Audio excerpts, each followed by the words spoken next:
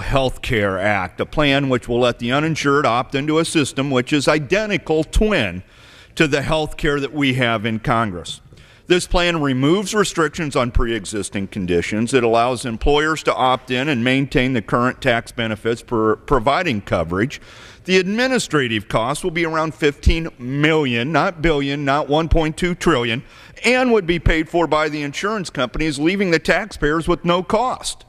This plan offers a variety of options, and companies compete for customers, thus holding down the cost and maximizing benefits without a government takeover of health care, without using taxpayer dollars, without taking money from Medicare, or raising taxes on small business. The SUH Act is a simple, affordable, private sector approach to making sure all people have access to health insurance, and I encourage members of both sides of the aisle to support the simple solution. For what purpose does the gentleman from Kentucky rise?